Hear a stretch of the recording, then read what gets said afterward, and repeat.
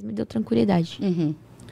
E deixa eu te falar, como era a Mirella antes de ser a MC Mirella, né? Você era estudiosa, né? Muito. É? É. Nem parece aquela menina que tava lá gritando na porta da escola, né? Que estudaram na vida. Gente, você olha cada coisa que. É verdade, mas você, vê- você lembra dela gritando na porta da escola, estudar, como é que é? Estudar Sabe o que que... Aí, ó, por isso que eu não bebo mais. E bebe, fica só falando... Be... Ó, E só aí? por- Aí, meu bem, pior que eu estudava pra caramba. Inclusive, nossa, lembro o nome de várias professoras que me davam aula lá em São Caetano. Que eu cresci lá em São Aham. Caetano, né? Sou de lá. Pra onde eu tô voltando agora. Sim, sim. Então, nossa... E na escola eu era zoada, vixe. Aí você o povo formou, né? Terceiro ano. Não, Formou eu não? parei no segundo. Eu quis fazer minhas coisas. Por isso que aconteceu tudo.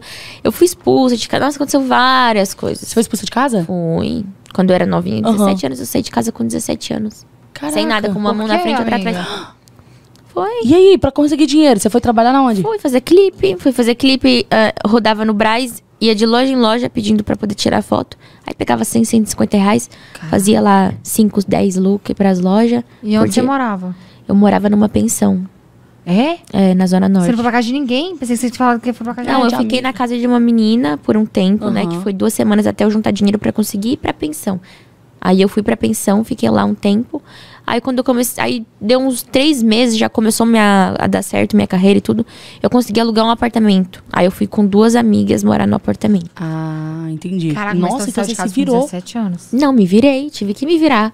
Mas você Aí ficou que com eles- raiva dos seus pais? Não, não fiquei com raiva. Eu acho que foi importante ter acontecido isso, porque, querendo ou não, me fortaleceu. Eu aprendi a ter responsabilidade, Você a mexer com né? dinheiro, a pagar conta, sabe? A organizar, assim, tudo bonitinho. Então, eu comecei desde lá. Então, foi bom pra mim.